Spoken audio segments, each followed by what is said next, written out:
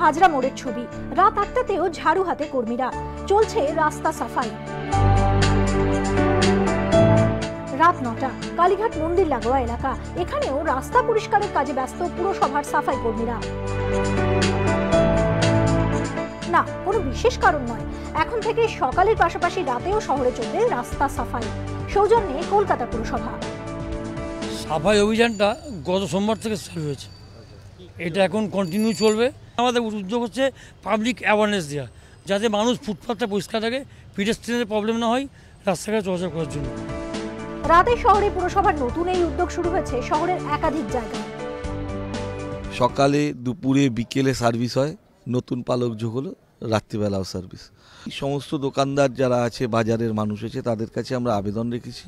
আপনারা রাত্রিবেলা যাওয়ার সময় ময়লাটা দয়া করে দোকানের সামনে না ফেলে বিনসে ফেলে দিয়ে যান পুরসভা সূত্রে খবর শহরের বাজার শপিং মল মন্দির চিড়িয়াখানা ও জনবহুল এলাকায় রাতেও সাফাইয়ের কাজ হবে। দোকানপাট বন্ধ হয়ে যাওয়ার পর রাত সাড়ে আটটা থেকে নটার মধ্যেই শুরু হবে রাস্তা পরিষ্কারের কাজ। চলবে রাত এগারোটা পর্যন্ত। পুরসভার নয়া উদ্যোগে স্বভাবতই খুশি সাধারণ মানুষ।